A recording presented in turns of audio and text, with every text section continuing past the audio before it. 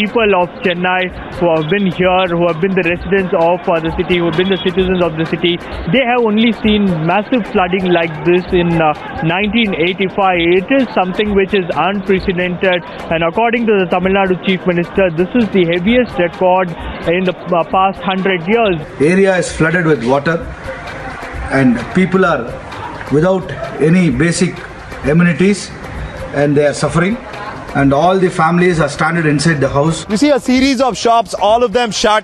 Uh, this is how rescue is being carried out with boats because uh, in the inner parts of this particular area, the water is as high as waist deep. In, in a few places, I'm told it is even neck deep. So in those places, uh, boats are the only way to bring people out. मैं rainbow hotel में यहाँ पे ठहरा हूँ मेरे दो छोटे छोटे बच्चे हैं मेरे होटल में ना पानी है इलेक्ट्रिक है सुबह से बच्चे को खाना नहीं मिला है Most of the roads have been caved in. One such road is what is going on here. That is the Madhya Kailash road where there was a uh, cave-in that happened. And this is mainly due to a lack of preparedness by the authorities. We people are living around 3,000 families to 5,000 families around this corner area. Now our area is fully flooded.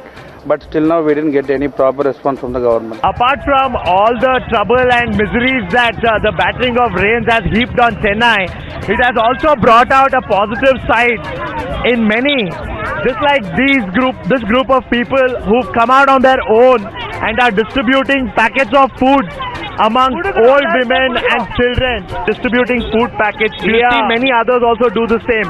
Yeah, we are trying to. Uh, Roundtable has decided that all of us, in wherever we stay, somewhere close by, we go and help people because there's water all over.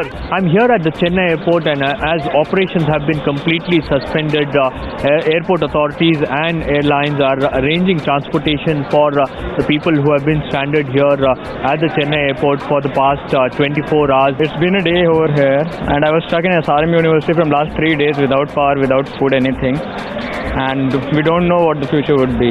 We are at the SIDCO industrial area of Tiruvalluvar district of Tamil Nadu where due to incessant heavy rains the entire area is flooded. As you can see the entire industrial area is flooded with rains and water which is complete up to 4 4 5 feet of deep of water is here. The entire uh, workers are shut, factories are shut. The workers have been moved out. पानी कब से है पानी sir सुबह से सुबह से पूरा कल रात से जा right now. A bridge connecting at least about 15 to 20 villages has been blocked since morning. People stranded on both ends of the bridge. There are people not being allowed to, uh, you know, travel on this particular bridge. We're at the Palam Air Force Base right now, and this is where uh, the aircraft are being mobilized to go to Chennai to help in rescue and relief work. We've got Chennai airfield is uh, shut down because of flood.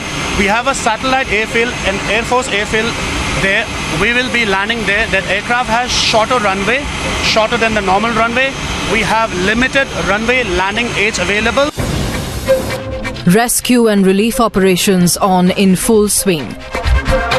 As Chennai fights the biggest deluge in recent times. Bureau Report, Times Now.